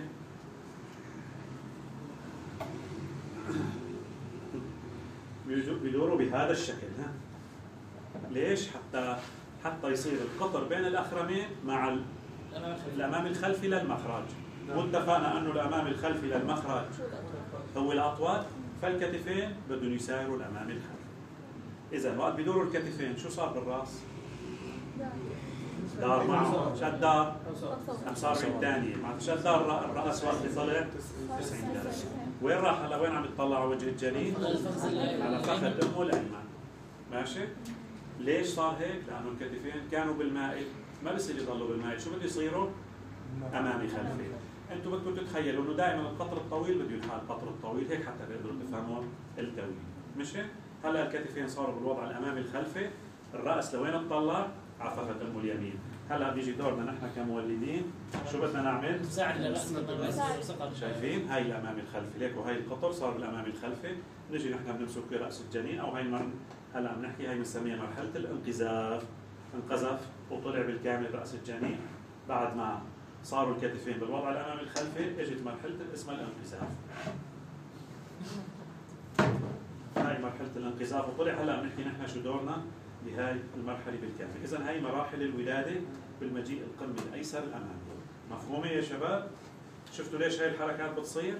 ما كثير صعبة، أنتم بدكم تتخيلوا. أول شيء الجنين هيك النقطة الاستكشافية لازم تجي تحت العانة دار 45 جوا. هلا أول شيء انتخر، نزل، انعطف ودار. صارت هاي، تخلص. الكتف على وضعه، تخلص، طلع عم يطلع على فخذ أمه على على شرج أمه، شرج أمه. بس تحرر الراس دوران إعاضة. طيب اجى دور الكتفين، الكتفين نزلوا هيك، ما بصير ينزلوا هيك، ما في ينزلوا هيك بده يدوروا هيك.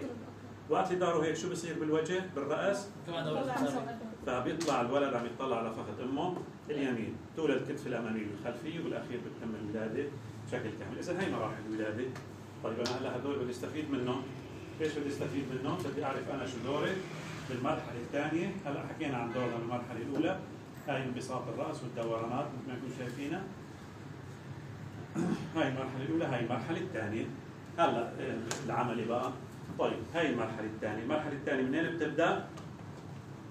من تمام الانمحاء طيب شو دوري أنا بهاي المرحلة؟ عدوا لي أول كلمة من زدتها مباشرة شو بنقول انتظار. المراقبه الشغله الثانية غير المراقبه الانتظار. شو بدنا؟ تحفيز مثلا. إيه. بالنسبة لجيب المياه زمان بس خدش إذا ما انبسط بمسكه بس قلنا بسق جيب المياه ما هو عشوائي. بدي أتأكد إنه الراس إما مسكر الحوض أو إذا كان عالي شوي شوي. شوي شوي شوي طيب غير بس جيب المياه شو في عندي أنا؟ دقات قلب الجنين كل شيء أنا بسمع دقات قلب الجنين أيوه اخطر هاي المرحلة ولا القبلة لا. هاي. بعد شلون بنسمع دقات قلب الجنين بتواتر أكثر. فإذا كانت منخفضة الخطورة ربع ساعة. اذا عاليه الخطورة. خمس دقائق. ودائما نحن بنصغي بعد التقلص. اصغائنا نختار دائما بعد التقلص. هذا كنا عم عم نلجا للإصغاء المتقطع. في شيء اسمه إصغاء مستمر في شيء اسمه متقطع. اذا إصغاء. غير الإصغاء شو بدنا نعمل هلأ نطلب من الأم تكبس أو لا. هاي ما كثير ضرورية. ممكن أنا وأنا بفضل إنه ما أطلب من الأم تكبس لأنه هي لحالها بالأخير رح تكبس بدون انت ما تقول لها هلا الولادة حدث فيزيولوجي يعني إذا تركت الأم بالبرية بتولد ما بدها دكتور دارس 20 سنة مو هيك؟ هذا شيء طبيعي. فأنتم بدكم تعرفوا إنه قد ما تتركوا الولادة تمشي بشكل طبيعي بدون تدخلات نعم بكون أسلم. أنا هلأ لما بيطلع بإيدي بخلي النسوان ترجع تولد ببيوتها لأنه الشغل اللي عم يصير بالمشافي هو اللي عم يأذيهم. نحن وقت اللي عم نسرع الولادة نحن عم نأذي.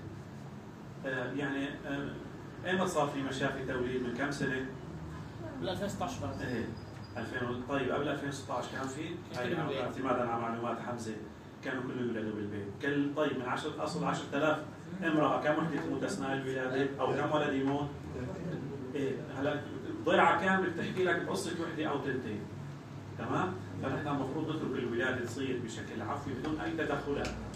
حتى عدد القيصريات كان قليل نحن ما في شيء اسمه قيصريات. كان يعني القيصر كله شيء جديد وكله شيء مستحدث آه ف آه، نحن قد ما نترك الولاده تمشي بشكل طبيعي بدون تدخلاتنا هذا لصالح الأم ولصالح الجنين. طيب اذا ما في مشكلة هلا بالمرحلة الثانية شو دوري أنا؟ قلنا هلا جينا على مرحلة الكبس أنا طالما الأمور ضمن الطبيعي لا تكبسي خليها على الأخير خلي خلي رأس الجنين ينزل لأنه الأم بتنزل الجنين ملي ملي ملي ملي هالنزول البطيء هذا شو بيعمل بالأنسجة؟ بيمددها بشكل بطيء، إذا تمددت الانسجه بشكل بطيء ما بتتمزق، اما اذا تمددت بشكل سريع وتشوف طق طقت الانسجه مو هيك تمزقت فنحن بنفضل أنا بفضل إنه نترك الأمور على طبيعي لا ما في مشكلة إنه نطلب منها تكبس بس ما في مشكلة. الكبس يعني تحسب. تشد عضلات بطنها بالإضافة إلى تقلصات المخاض. طيب هلأ أنا في عندي حركات بايدي بدي أعملهم. شو هن الحركات اللي بدي أعملهم؟ بإيدي؟ بدكم تجوا الكل بده يجي يشوف هاي الحركات. البعض أنتم وينكم شايفين تعالوا أنا طبعا بفضل ولد أنا وقاعد قربوا الكل بده قربوا قربوا تعال حمزة تعال زوج الولد. لك ثوابت تعال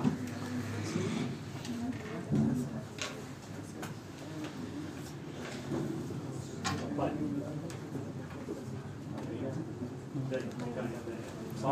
شايفين؟ الكل شايفين؟ الكل شايفين؟ طيب هلا لا تطلعوا على الكتف الكتف وضعه غلط. أنا بس على الرأس. وين اليافوق اللامة؟ تحت العانه بلش البنات شايفين؟ بس اعطي مجال للبنات. بلش هون يتبارز الرأس. مو هيك؟ أنا بلش هون دوري. طيب شو الشغلات اللي بدي أعملها أنا؟ هي هي هي النقطة. بس بلش تقريبا الرأس يظهر من الشفرين في حركات بدي أعملها. أول شغلة أنا بحاول آه، بحط آه، مثلا بحط شاني بس ما بغطي العجان. أنا عندي قاعدة إني ما بصير غطي العجان.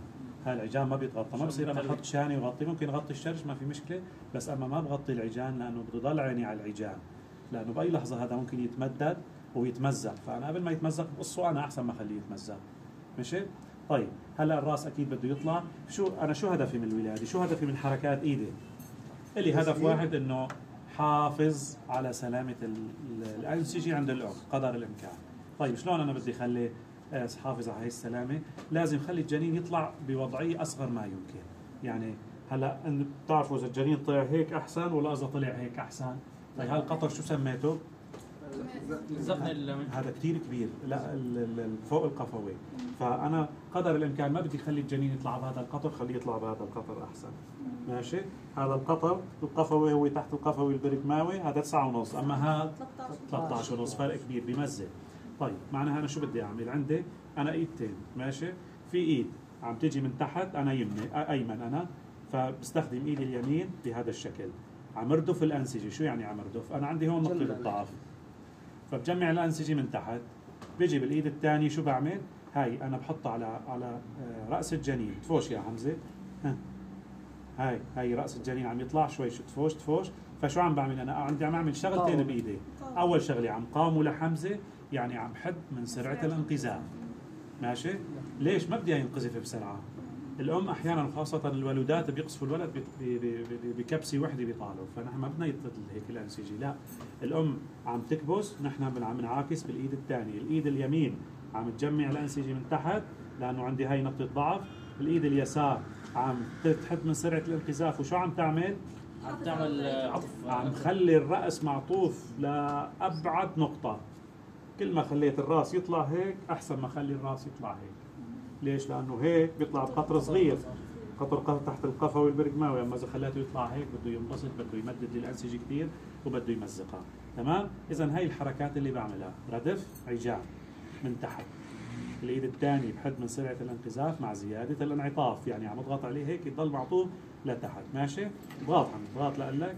ها ماشي تمام. هي الأمور تمام هيك؟ إيه طيب أنا عندي استثناءات. إيه أنا أي نقطة بتصير عندي بالولاده؟ ممكن يعطيني بسجل أي ممكن يصير عندي مفاجآت أو يصير مو دائما الأمور بتمشي بتمشي عنا بسلاسه شلون يعني؟ إيه طيب أنا عم أطلع. وين عيني؟ على على العجان. طيب شفت العجان شحب. معناتها شو؟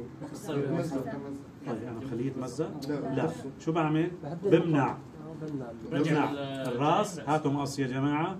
وبحاول آخذ خزع مائل. طبعا مو 45 أنا ما باخذ 45 باخذ أقرب للافقي مثلا 30 لا. أقرب للافقي ليش؟ لأنه بس مجدت لأنه هون تمدد. بس رجعت الانسجه لبعدها بيكون أخذ 45 ماشي؟ فهي ملاحظة دائما بنعلمها للمقيمين إنه لا تقربوا على الشرج. نحن نقطه ضعفنا وين؟ الشرج المعصره الشرجية. ما بدنا يوصل. أنتم عم تشوفوا؟ ما عم تشوفوا. حماد طيب. ولو قاعدين درجات طيب ما في مشكلة. اذا هاي بالنسبة للعجان. شحب بهدي الراس بروح أنا تقريبا هيك. ماشي؟ ما بحاول أقرب للشرج لأنه بس هلأ الأنسجة شبه متمددة. بس تقلصت بقرب للشرج أكثر فأنا بروح افقي أكثر حتى أحمي الشرج. شغلة ثانية. كبسه كبسه كبسة ما عم يطلع الراس. حسيت إنه الرأس فيه عصيان بلجأ لشيء اسمه مناورة. رجال رجل المعدلة برافو عليك. شو هاي مناورة رجل المعدلة؟ هلا بدي سرع الولادة لأنه تأخر هذا ما عم يطلع فبروح بدخل إيدي من خلال العجان. هون؟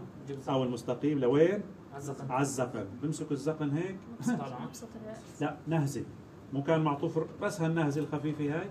بس نهزته هالنهزة ما بتشوفوا لاحظين هاي نهزته لاحظوا شلون بلش يطلع الرأس. تمام؟ فممكن أنا ألجأ لهي المناورة اللي اسمها مناورة. رجل مناوره رجل المعدله بوز اضغط تمام؟ برجع فهاي حركاتي الأساسية. ممكن يتمدد عندك ممكن إلجأ لمناورة. مناورة رجل هاي عم يطلع الرأس بهالشكل هذا. لآخر لحظة أنا بضل حاطط إيدي هيك وعم حد من سرعة الانقذاف وعم زيد الانعطاف عم يطلع الرأس بكل هدوء. تماما هيك هيك. يعني ما بحاول أنا وس آه، رجع الانسجه هدول.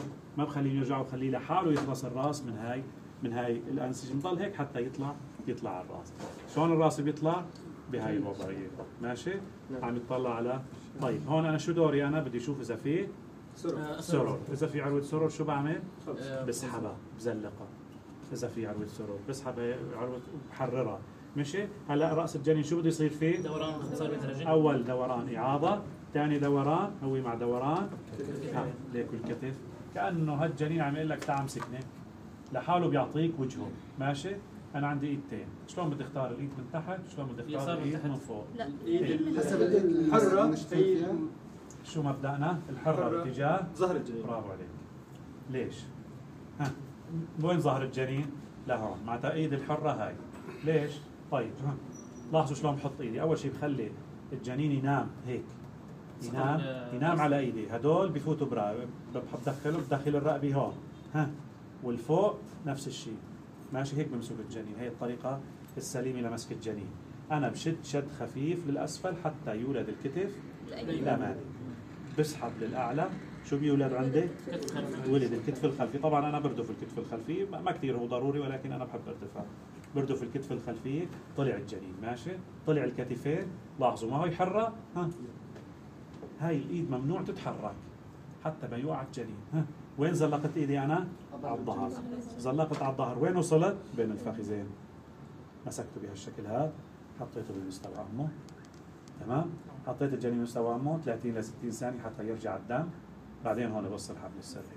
طيب تخيلوا إنه أنا مسكت بالعكس. حطيت إيدي اليمين من تحت وإيدي اليسار. نزلت طالعت بدي إجي زلق. شو بدي امسك الولد وفي قدامي حبل سري؟ وفي قدامي البطن. هاي طيب معناتها التزليق وين؟ الأفضل؟ على ظهر الجنين. ماشي. أما هلأ الجنين اللي أيمن خلفي. أيمن خلفي بيولد هيك. فأي بايد بختار خلي اليمين ثابتة واليسار من فوق. هاي الحرة. هاي ما بصير تتحرك. الإيد اللي بتنحط من تحت ما بصير تتحرك. ها بهالشكل هذا وبولد هاي. طبعا هيك أنا بولد يعني لا تفكروا إنه أنا مولد عدمي. أنا ما بستعجل ابدا. قاعد على 100 مهلة وشايف عم تصير الدورانات. حتى أنا بس يطلع الرأس ما بخلي الأم تكبس لا لا الأم ما بقى تكبسي لأني أنا بدي اوجه للولادة. أنا بشوف عم يدور الرأس بساعده ممكن اسنده لحتى يعطيني حاله الرأس. للأمام آه للأسفل للأعلى وبزلق بهذا الشكل. وهيك يعني وهيك بيكون طبعا بالنسبة لرشف المفرزات إذا الجنين فيه عقي وما عقي مباشر بأخذه على بص الحبل السري وبأخذه على الانعاش. أما إذا ما عند الأمور تمام والجنين صرخ وما في حتى هاي المفرزات بتشوف ما في داعي ترشفه. هو لانها بتكون انضغطت وطلعت بالاصل ما في مشكلة. تمام؟ أنا هيك بسير الولاده أنا هيك بسير الولاده نعم. هلا ما بنخاف انه ينقسم على الراس جيل أو الشد وطايل الكتاب إيه. أنت في بدك تطبق قوة شد خفيفة. ما عندي شيء شد عنيف. أنت هذا شيء طبيعي. هلا هي إذا أنت ما شديت راح يطلع. تمام؟ هلا بس طلع ال- الرأس عادة الكتفين لحالهم بيطلعوا لأنه الرأس أصعب من الكتفين إلا بحال تعضوا الكتفين. تمام؟ فبيطلع طالما شلت الكتف صار بالوضع الأمامي الخلفي صارت الولادة سهلة. فأنا بشد شد خفيف للأسفل. كله عندي شد خفيف. ما بصير حط أجري هيك ويلا أسحب هيك. لا هذا كلام طبعا هذا بصير. الشيء بصير أزيد ضفيره آه بصير اذيات مو بس اذى ممكن العمود الفقري تأذي ممكن تأذي كل شيء. طبعا هي بنحكي عنها بعسر ولادة الكبد ماشي؟ اذا هيك بتتم الولادة وما في أحلى من الولادة اللي بتتم هيك. آه يعني تمزقات قليلة. ليش؟ آه لأنه أنا ما شديت شد عنيف وخليت الولادة تمشي. هاي البنات أكيد حضروا ولادة شافوا القابلات أو الطبيبات حطوا ايديهم هون ويلا كبسي ويلا كبسي ويلا اضغطي ويلا اضغطي. هاي الحركة ممنوعة بالطب ما بيصير؟ ممنوع. ماشي؟ الشغله الثانية الممنوع وقت اللي بيحطوا ايديهم على بطن المريضة وبيكبسوا بيضغطوا بيكبسوا أكيد شايفين هاي المناظر. أنا هاي بلجأ لها وقت بدي اسرع الولادة إذا الجنين مضطرب. أما إذا مضطرب أنا ما شفت مرجع طبيب ماسك هيك وعم يعمل هيك. ما في هيك شيء. أما نحن كل شيء هون كل شيء بسوريا بيولد هيك. هاي الحركة ما في داعي لها ليش؟ لأنه هاي أول شيء أنا عم سرع الولادة ليه عم سرعها؟ خلي الراس ينزل عم يتمهله الشغله الثانية إيدي هدول بيحفروا أنفاق هون. تنحفر أنفاق عندكم هون تعمل تمزقات تمام؟ اذا هاي بالنسبة للولادة. عندي حركات بإيدي. اليمين ردف. حد من سرعه الانقذاف زيادة انعطاف خلي الرأس يطلع على 100 مهله. تمام؟ لا تخافوا إنه يصير عنده نقص اكسجين لأنه هسه الحبل السري شغال. خليه يطلع على 100 مهله. مو هيك؟ بضل. شفت؟ شحب العجان رديت وها قصيت. طيب. آه شفت؟ تأخر تأخرت ولادة الرأس. شو بعمل؟ بفوت فوت إيدي من هون بوصل للزقن. ها نهزة صغيرة طبعا. بس هيك نهزة صغيرة وبعدين ما بتشوفوا غير هو لحاله كمل كمل ولادة بعد ما بيطلع الراس بعد ما بيطلع الراس بمسكه بختار الإيد المناسبة بشد للأسفل بشد للأعلى وبزلق الإيد الحرة باتجاه ظهر الجنين وهيك الولادة بتكون تمت هذا دوري. هلا أنتم طلاب سنة سادسة المفروض طالب سنة سادسة يعرف يولد الولود اللي ما عنده مشاكل. لأنه ممكن تتعرضوا ل آه، في البيئات الخطرة بتتعرضوا لكل شيء حتى الولادة الطبيعية. الأجيال اللي قبلنا كانوا يولدوا طبيعي. اسالوا الدكاترة الكبار اللي درسوا بيقولوا كلنا ولدنا كلياتنا ولدنا نحن طبيعي. ليش؟ لأنه مو هالاجراء ال- الصعب. أنت بس حط في بالك إنه أنا ما بدي اذي الانسجه بدي طالع الولد شوي شوي لحال الولادة هي بتساعدك طبعا الحكي بضل صعب لأنه ما في تطبيق. أما إذا ولدت لكم 10 ولادات 20 ولادة كل واحد خلص يعني يعني ما بضل في صعوبة ابدا. آه، الاستثناءات أكيد يعني هاي بدها فترة طويلة لحتى لحتى تعرفوها. ماشي؟ اذا هاي هي الولادة. وهذا هو دوركم بالمرحلة الثانية كمولدين. أنا هاي الحركات اللي لازم أعملها بإيدي. لازم حافظ على الانسجه قدر الإمكان. تمزقات لا يحمد عقباها. تمزقات وين ما صار تمزق تمزق هو سيء. نحن بهالولادات هاي اللطيفة إن شاء الله ما بنمزق حتى الخروس أنتم برأيكم هلا نحن عم نخزع كل الخروسات الله خلق الخروس تنخزع؟ لا. مين ستة انخزعت فيكم؟ هاتوا لشوف ست مين عنده ست خزعوها؟ ما كان في هيك شيء، ليش؟ لأنه كانت تمشي الأمور بسلاسة. وهذا شيء فيزيولوجي. يعني شيء طبيعي. شيء من تكوينة الجسم. أما هلا عم نخزع كل الخروسات طبعا صار في تغيير بتونية الأجسام ما ضلت مثل الأول.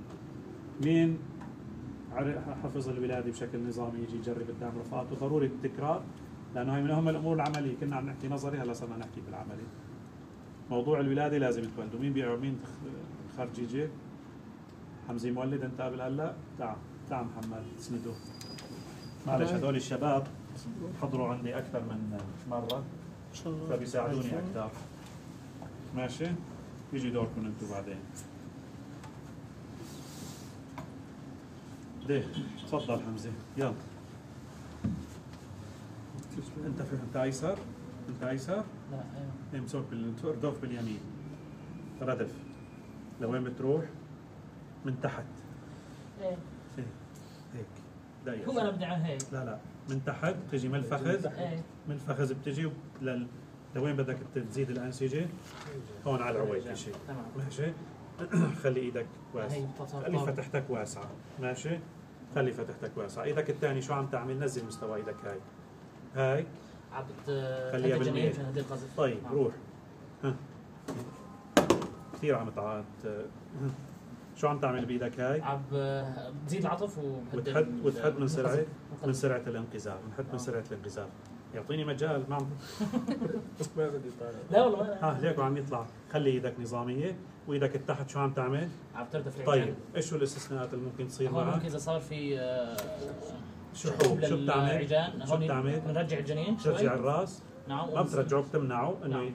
بتجيب نعمل، الراس؟ آه، طيب إذا شفت الراس تأخر شو بتعمل؟ آه، بدخل رجن بإيدك. لا هيك بهالشكل. تروح على الزخم وشو بتعمل له؟ بنطالع طيب. خليك عم تردف هلأ. رجع تمام. طلع الراس. بعد ما بيطلع الراس أول حركة بتعملها شو هي؟ تعيش بتدور. ندور على ال اذا في على السرور مشان نقطعها. بتخلصها. نعم بخلصها بتخلصها هيك. شو بده يصير؟ برأس الجنين. بدنا ندور 45 درجة. بده يدير. بعدين؟ 45 ثاني 45 ثانية مين بيجيك من شلون بدك تمسك رأس الجنين؟ هلا شلون بدك تختار؟ إيدك؟ اليد الحرة على الظهر الجنين. باتجاه ظهر الجنين. معناتها وين بتحطها؟ هون ن- مثبتها اصابعك أيوه. والثانية؟ على ظهر الجنين. اعملها هيك. لا أول. شيء على الوجه. هيك. نزل لتحت. طالع لفوق. اسحاب هاي وزلق هاي. روح. روح. روح. روح. روح. أيوه. خليه على ظهر جنين. تمام. يلا. ده تعال شوف يا محمد. يلا. طيب. شو بتعمل؟ ردف. لاحظوا زميلكم ها ردف. ماشي. إيد اليمين عم يردف. إيدك اليسار. اليسار. بحد مساعدة. هيك خليه هيك على الرأس. تمام؟ بزيد من الانعطاف. بزيد من العطاف أعطيني بالله الجيل تمام؟ هلا عم يطلع الرأس شوي شوي.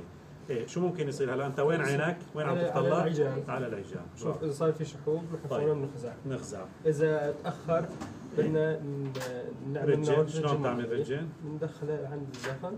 تمام. شو بتعمل له؟ بسطة خفيفة تبسطه مشان تسرع الولادة. تمام. حاج حاج حاج رجل رجع إيدك رجع عردوف ورجع إيه أنت الرجل بس نحن نهزه بسيطة ما نخليه يكمل. تمام؟ نرجع نرجع لنفس ال- حد من سرعه بس. زيادة انعطاف؟ لا أنت بس بتنهزه نهز ما بيطلع ولا؟ بيطلع على الاخير لا. أنت بس بتوصل. له بتعمل له هالبسطة الخفيفة لحاله بعدين بيكمل. طيب طلع طلع طلع. هاي الراس. انت طيب شو بتعمل هلا بعد ما تخلص ال- الرأس طلع على بالكامل السرور إذا كانت طويل خلص إذا كانت قصيره اذا كان ملتف. برافو. إذا ملتف نحن بنحاول نخلصه اذا ما تخلص معنا بنحط كوشرين ونقص بيناتهم هلأ شو بده يصير براس الجنين 45 بعدين 45 45 وين صار الكتف؟ الكتف صار تحت العاني. تحت العاني. شلون إيديك بتحطها؟ أي بتختار عن ظهر برافو. عليك. ونحطها هون. وين حاطط أصابعك؟ جيد يلا. بننزل تمام. تحت شوي ولا الكتف دقيقة بحط لي هذول الأصبعتين هيك. ماشي بعكس بعضهم. شد لتحت لفوق. مين الثابت؟ تحت يعني. شد. شد. روح روح روح. روح روح. تمام. برافو عليك. بنخليه تقريبا 30 ل 60 ثانية تمام. شايفك مهتم كثير بالتمريض مثل أخوك.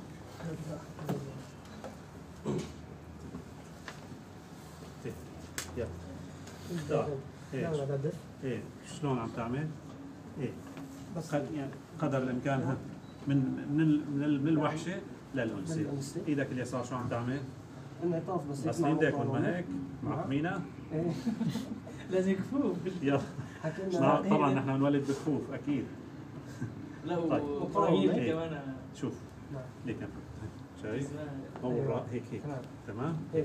هيك هيك بتتحكم أكثر تمام؟ نعم. هاي الأم عم تكبس وفي تقلصات إيه. على النطاق إيه دائما إيدك هي من تحت عم بتجمع. عم تجمع الانسجه طيب شفت العجان شاحب بعمل شو. بتعمل؟ شو بتعمل؟ قبل ما تعمل خزع شو بتعمل؟ بنهدي ال- هدي الولاده بتقول لها بطلي وقفي كبس نعم هاتوا لي مقص شلون بتقص المقص؟ اقرب للافقي برافو عليك هي أقرب للأفق لا تقولوا قدام غيري مش عم ي- قولوا 45 نعم. درجة بس أنا عمليا آه بقول لكم أقرب طب للأفق بدي- لأنه بس رجعت الانسجه لبعض لحالها ما بتشوفها غير هي رجعت 45 درجة تمام؟ قبل الافقي هي من ناحية يعني هلا هاي 45 درجة ماشي؟ تمام هو. طيب هذا الفرق هاي هاي العويكشه أنا ما بجي هيك بجي هيك. آه تمام. بيجي هيك لأنه لأنه هاي مو متمددة بس راح التمدد. شو بيصير فيها؟ ترجع. ترجع. طيب. إذا صار شذوذ يعني. إذا إذا نعم. تأخر ولادة الرأس هيك من إذا تأخر ولادة الرأس شو بتعمل؟ كيف رجل؟ فرجيني باليد ال- هاي. نعم مو هي انت بتشتغل إيه، فيها؟ نعم،. إيه بتروح تدخل من نهزه بسيطه للبطن لوين بتصور توصل؟ للزقن نعم نهزة خفيفة. للزقن شايف شلون بتطلع؟ نعم. حسيت فيها؟ إيه حسيت حقيقة بس سؤال هون مم. هون لما بعد إذا صار هذا تأخر إيه ما بدنا بدنا نسوي انعطاف مرة ثانية هلا أنت اعطيه نهزة. شوف اعطيه نهزة بسيطة إيه. وشوفوا اذا إذا ولد ترجع بس بلش يولد ترجع بتحط إيديك هون نعم مش هي الهاي. بس شغلة بسيطة إنك تخليها هيك بس أما لا ما تخليه يطلع بالكامل لأنه بس خليته يطلع بالكامل ممكن إنك تمزق فنحن بس بدنا نساعده مساعدة بسيطة نهزة خفيفة. ما ولد بنرجع بننهزه ما في مشكلة تمام. يعني الأمور تقديرية طيب إيدك شلون حاططها هي خليها هيك هسه هي لآخر لحظة نعم، بضلوا ردد. هدول الايدين هيك. ماشي. عم يطلع عم يطلع الرأس بكل هدوء ها تمام نعم انت عم هاي هاي اللي إيه لحاله بتحرر الرأس. بعد ما ولد الرأس وين بيروح فكرك بقى؟ شو بدك تدور إذا في سرعة حبل سري، برافو. نعم إيه. نخلصه كيف بتخلص الحبل السري؟ إذا طويل إيه. ممكن بعده إذا هلا اذا هلا هو إذا شفنا حبل سري ملتف بنخلصه شلون بتخلصه؟ هات هذيك اليد لا لا مو هي اليد نعم. هاي اليد نعم. بتمسكه هيك وبتسحبه. سحب فقط. لكن هو مو دائرة هيك نعم. بتزلقه هيك على الرأس. إذا إيه؟ قصير. إذا قصير وما تزلق هون بتحط حط كوشر نعم. كوشرين وقص بيناته تمام؟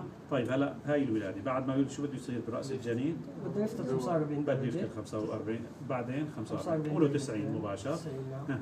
وين بتحط إيدك؟ آه، اي. أي اللي بتختارها؟ هيدي الحجره نعم. هيدي الثابتة. فرجيني إيه. برافو عليك. نعم وهيدي هيك. برافو عليك. للأسفل؟ للأسفل. هاي الكتف الأمامية طلعت. نعم. الاعلى هاي الكتف الخلفيه ولدت شد بهاي. زلق هاي. زلق زلق. امشي امشي. اسحب اسحب اسحب اسحب. اجباري الولادة فيها؟ طيب بالولد أيوة. الطبيعي طيب كيف. ثقل رأس الجنين؟ تخليه بمستوى بمستوى الأم شاد 30 ل 60 ثانية حتى يرجع الدم الموجود بالمشيمة. تمام. وبعدين اما بتحطوه على بطن المريضة هيك بيحبوه يعني ما بعرف ليش. أو ممكن تاخذوه بقى على الأنعاش. وأول شيء بنقص نحن الحبل السري على مسافة طويلة بعدين بنقص بنترك 10 سم مين من الشباب يعني بتقول مثلا حتى ممكن تصير ولاده ببري. طيب هون لما بال ممكن تصير كثير حالات. طيب هون راس الجنين هون لما مثلا بيطلع. هون طيب هو مو هو اثقل شيء بالجسم طيب هو ممكن يعني ينزل تحت ممكن هلا الام شلون بتولد؟ بتولد نايمة يا إيه. ما بتولد هي واقفه قريب على الأرض دغري بيجي على الأرض. إيه بس كحركته قصدك بتصير كله هاي الحركات اللي عم تشوفها كلها بتصير بشكل طبيعي. بتصير وإذا ولداني الأم على الأرض ما بتشوف غير الجنين إنه نزل على الأرض وما ما راح يصير له شيء يعني. تمام؟ يلا شباب يلا فرجوني حدا منكم إذا ما ولدتوا هلا إمتى بتولدوا. أنا بالحياة حكيم ايد اليمين برافو عليك. نعم. برافو. البنات ممنوع يلبسوا. طبعا كيف أنتم ممنوع الضافير وممنوع الأدوات المعدنية. هذول كلهم بيجرحوا. نردف طيب برافو. عم تردف وهاي اليد شو عم تعمل؟ إيه خليها هيك. مثل السد عرفت علي شلون؟ إيه شو عم تعمل بهاي الإيد اليسار؟ عم بمنع ال إيه بس مو كل هالقد إيه عم تحد من سرعة الانقذاف وشو عم تعمل؟ بسوي انعطاف بزيد الانعطاف طيب وين عينك أنت؟ عجان إذا شحب مثل شحب من ومقص برافو عليك طيب إذا تأخر ولاده الرأس. بعمل مناولة رجال رجن شلون؟ للزقن إيه شوي شوي شوي شوي شوي شوي. إيه بعد ما بتعمل نور ترجين بترجع للردف. ماشي؟ ما بتنسى موضوع الردف والحد بسرعة الانقذاف يعني هدفنا إنه ما يطلع الولد بسرعة. ماشي؟ طلع الرأس. بعد ما طلع. بتخلصوا مناورة طيب. الشرطة هيك إذا عندك إذا عندك مساحة عجان واسعة بالعجان أو ما عندك تكون بالشاذ ما في مشكلة. هلا شلون بتختار إيديك؟ حرمكم برافو كيف هون؟ لا. وين أصبعك ال مثل مثل الكلاب حول الرقبة. كم اصبع حاطط هون؟ إيه تمام. أنا شايفه برافو عليك. يلا. برافو عليك. لتحت. أيوه. لفوق. شد بهاي. هاي هاي هي شد لحالها وهاي شو بتعمل فيها؟ برافو عليك يعني المفروض إذا إجتك ولاده